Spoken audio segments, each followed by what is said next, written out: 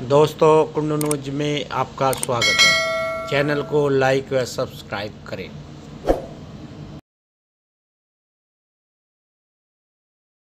Agency है, इसने भ्रष्टाचार फैला रखा और हमारी गवर्नमेंट का ये दावा कर रही है कि भ्रष्टाचार खत्म होगा, इसलिए भ्रष्टाचार खत्म करने के लिए ही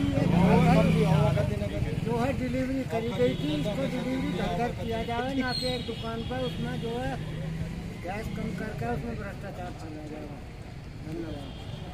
मोदीनगर तहसील परिसर में आए हुए हैं उप जिलाधिकारी महोदय से मिलने के लिए, क्योंकि हमारे गाँव में जो Happy Home gas service agency है, भारत गैस एजेंसी, वो हमारे गाँव में सभी उपभोक्ताओं को गैस डिलीवरी नहीं करता, उसने एक निश्चित दुकान बनाई हुई है, वहाँ पे गाड़ी रोकता है, हफ़्ते में एक दिन आता है। पहले उसमें से सिलेंडर से एक दो किलो गैस निकाल लेता है, फिर वहाँ पे वितरण करता है और सिलेंडर लाने के गाँव वालों से पचास रुपये प्रति सिलेंडर एक्स्ट्रा वसूली करता है, जो कि बिल्कुल कानूनी रूप से गलत है। क्योंकि जब हम गैस सिलेंडर की पेमेंट करते हैं, उसमें हमारा होम डिलीवरी के पैसे कटे होते हैं। तो इसी वजह से हम शिकायत करने आए हैं, ताकि हमें सभी उपभोक्ताओं का जो मानसिक रूप से और आर्थिक रूप से शोषण कर रहा है, वो ना करें। और हम सभी ग्रामवासियों को समय से घर पर भारत गैस एजेंसी की तरफ़ से सिलेंडर उपलब्ध कराया जाए। और किसी दूसरी दूसरी बना ले।